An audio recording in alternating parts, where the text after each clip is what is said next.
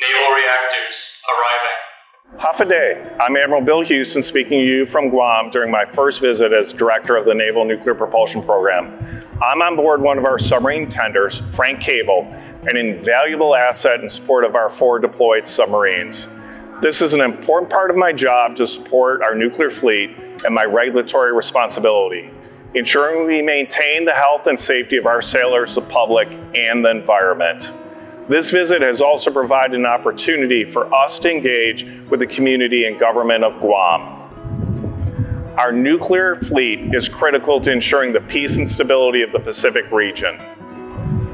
Maintaining control of the maritime domain and freedom of the seas are the cornerstones of its success, as our partnerships, including our Australian mates, currently stationed here to learn how to maintain conventionally armed SSN as part of the AUKUS program. Our forward deployed submarines are in constant cycle of sustainment and deployment to meet our nation's and our allies' needs.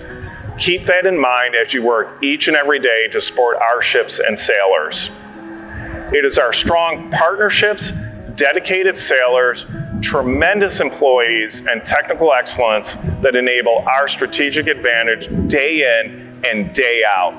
Thank you to everyone who plays a role in supporting our team here. We all have an immense responsibility ensuring stewardship of our program and keeping our fleet ready at the tip of the spear. Out from Guam.